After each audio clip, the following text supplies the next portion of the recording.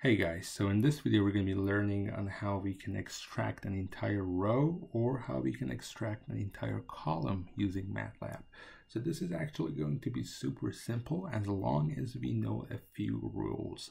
So the first one is going to be the MATLAB formatting is always going to be rows times columns and I'll get to the rest of these guys in a second.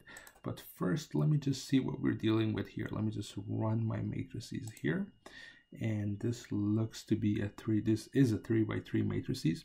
And then let's just say I want to extract that first column right here. So 414 and the way I'm going to do this is is just like the previous video where I extracted like a like a, an element from the matrices I'm going to define my matrices which basically says which matrices I want to I want to get the information from.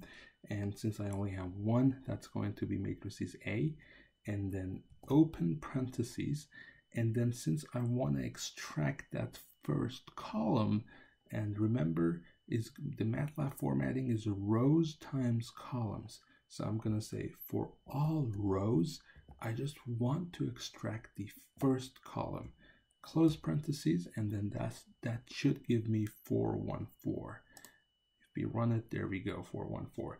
If I want to extract, say, the second column, it's going to be, I'm going to define my matrices, um, so A, and then I'm going to say for all rows, I want to extract the second matrices, I mean second um, column, and that's going to give me 622. And then if we run that, 622, there we go.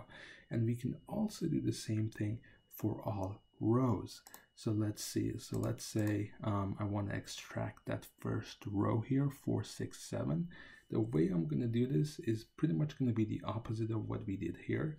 So I'm going to first of all define my matrices, um, which is going to be A, open parentheses, and then I'm going to say for the first row, for the first row, I want to get everything in that column. So that's going to be defined by a colon.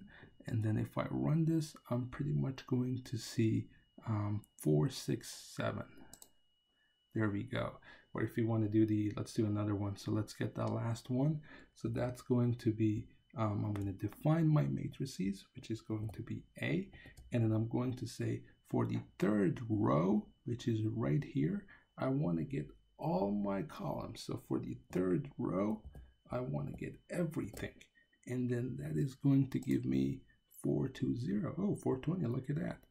And that's pretty much it for this video. So I'm trying to keep it as short and as sweet as possible. So if this video helped you, be sure to give it a thumbs up and subscribe to my channel. Thank you. Peace out.